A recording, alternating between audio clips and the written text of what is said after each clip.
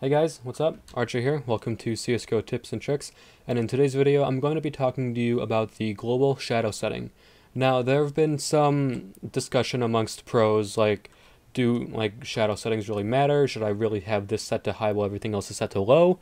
Or should I just have everything low? Will it affect me competitively? And will it affect how I play the game? Now, right off the bat, you can see that shadows are going to be in the game no matter what setting you play at. Right now, the setting's on high, and I will show you footage from when I set it to low as well, just to show you the difference. But right now, it's on high, and you can see that, you know, the shadows are fairly, you know, detailed.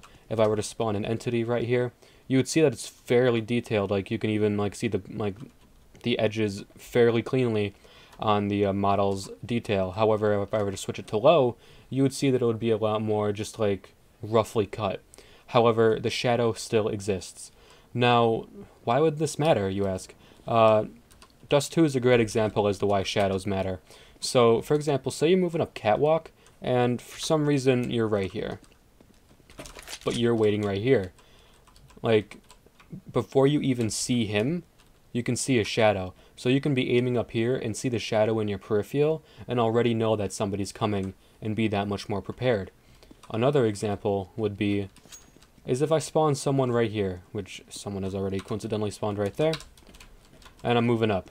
You, you're able to see his shadow when he's all the way up on catwalk. So that's just another reason as to why you should worry about your shadow setting and why I'm here to help debunk whether or not there's a real difference when it comes to getting a competitive edge. So I'm going to be moving on to showing you the differences between high and low, starting with high, which you see right now, and next it'll be low. Alright, so now the global shadow settings are on very low. Low, it doesn't really matter, they're the same thing. But on very low, you could see that it's much, it's much more roughly cut out. It's not as defined as the high was. And even when we go around, there's still shadows everywhere. They're just much more roughly cut. Which could have its pros and cons depending on how you want to see it. If you want to like have aesthetically pleasing shadows, like whatever like you can go to high if you want and just have rounded out shadows if you really want to. However if you set it to very low you're still going to have shadows that you can see.